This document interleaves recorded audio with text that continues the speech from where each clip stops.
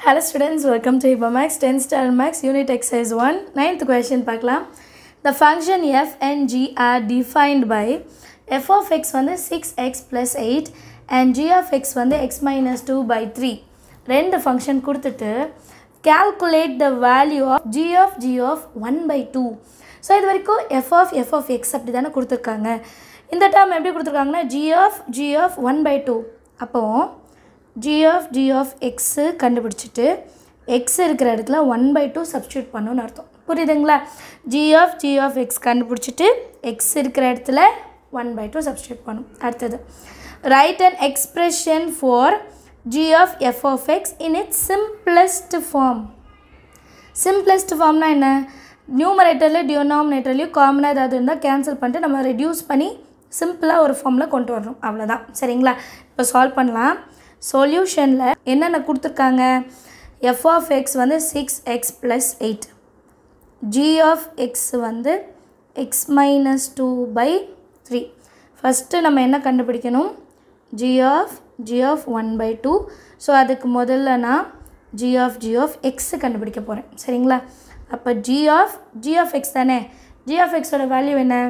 X minus two by three ஓகேவா அடுத்தது G of X ஃபங்க்ஷனில் இங்கே எக்ஸ் இருக்குன்னா இந்த எக்ஸுக்கு பதிலாக என்ன எக்ஸ் மைனஸ் டூ பை த்ரீன்னு எழுதணும்.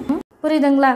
G of எக்ஸ்னா x minus two by three இந்த எக்ஸுக்கு பதிலாக மறுபடியும் x minus two by three இங்கே ஒரு மைனஸ் டூ இருக்குது டிவைடட் பையில் த்ரீ இருக்குது பெருசாக வருது பாருங்கள் இப்போ எல்சிஎம் எடுக்கலாம். Three two jar six x minus two minus three two jar six divided by இந்த த்ரீ ரெண்டு பக்கமும் வந்துடும் இல்லைங்களா?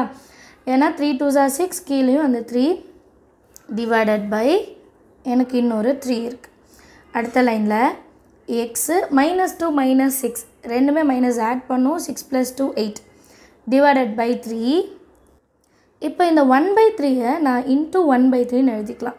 சரிங்களா? ஒன் பை த்ரீ இருக்கா? இதை இன்ட்டு போட்டு ஒன் பை த்ரீன்னு எழுதிக்கலாம். இதுக்கப்புறம் சால்வ் பண்ணுறது ரொம்பவே easy x minus eight divided by three three jar nine so சிம்பிளாக ஒரு ஃபார்ம் கொண்டு வந்துட்டோம்.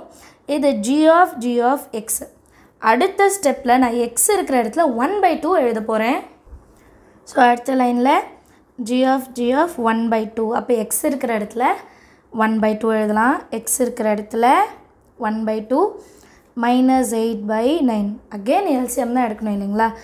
ஒன் பை டூ இருக்கப்போ two into eight sixteen by two divided by nine so one minus sixteen வந்து மைனஸ் ஃபிஃப்டீனா பெரிய நம்பருக்கு மைனஸ் இருக்கனால minus fifteen by two into one by nine நம்ம ஆல்ரெடி செஞ்சோம்ல ஒன் பை த்ரீனா இன்ட்டு ஒன் பை த்ரீ எழுதுகிற மாதிரி. ஒன் பை நைனை வந்து இன்ட்டு ஒன் பை நைன் எழுதிடுறேன். ஸோ இதோட answer minus fifteen by nine two jar eighteen so இதை த்ரீ டேபிளையுமே கேன்சல் பண்ணலாம். த்ரீ ஃபைவ் ஜார் த்ரீ சிக்ஸ் ஆர் எயிட்டீன் கரெக்டாக அப்போ answer minus five by six so final answer என்ன கிடச்சிருக்கு? G of G of one by டூக்கு வந்து மைனஸ் ஃபைவ் பை சிக்ஸ் எல்லாருக்கும் அண்டர்ஸ்டாண்ட் ஆகுதா? அடுத்த சப்டிவிஷன் வந்து ஜி ஆஃப் இது டூ சரிங்களா? G of f of x கண்டுபிடிக்கணும். அதுதான் அடுத்த subdivision so g of f of x என்ன கொடுத்துருந்தாங்க கொஷினில் எஃப் ஆஃப் எக்ஸ் என்ன கொடுத்துருந்தாங்கன்னா சிக்ஸ் எக்ஸ் ப்ளஸ் எயிட் எழுதிக்கலாமா? சிக்ஸ் எக்ஸ் ப்ளஸ் எயிட் இப்போ சிக்ஸ் எக்ஸ் ப்ளஸ் எயிட்டை நான் ஜி ஆஃப் எக்ஸில் சப்ஸ்டியூட் பண்ணோம். ஜி ஆஃப் எக்ஸ் என்னது? X minus two by three அப்போ எக்ஸ் இருக்கிற இடத்துல இது அப்படியே எழுதணும். Six x plus eight minus two இல்லைங்களா? Minus two divided by three அடுத்த லைனில் six x plus eight minus two எயிட்டில் டூ போச்சுன்னா சிக்ஸு பெரிய நம்பருக்கு ப்ளஸ் இருக்கனால plus six divided by three இப்போ ரெண்டுத்துலையுமே சிக்ஸ் இருக்கா? சிக்ஸ் என்ன பண்ணலாம்? காமனாக வெளியே எடுத்துடலாம். ரெண்டுத்துலையுமே சிக்ஸை காமனாக வெளியே எடுத்துகிட்டு x plus one divided by three இருக்கும். சரிங்களா? இப்போ three one time three two time six இப்போ ஆன்சர் என்ன கிடைக்குது? Two into x plus one ஈஸியாக முடிஞ்சிச்சு பார்த்தீங்களா சம் இந்த எஃப் ஆஃப் எஃப் ஆஃப் இந்த ஃபங்க்ஷன்ஸ் நீங்கள் நிறைய வாட்டி செஞ்சு பாருங்கள் ஏன்னா ஒரு கம்பல்சரி ஃபைவ் மார்க் கூட அதுலேருந்து வர வாய்ப்புகள் இருக்குது ஸோ எல்லாருக்கும் அண்டர்ஸ்டாண்ட் ஆயிருக்கும்னு நினைக்கிறேன். தேங்க்யூ ஸோ மச் ஃபார் வாட்சிங்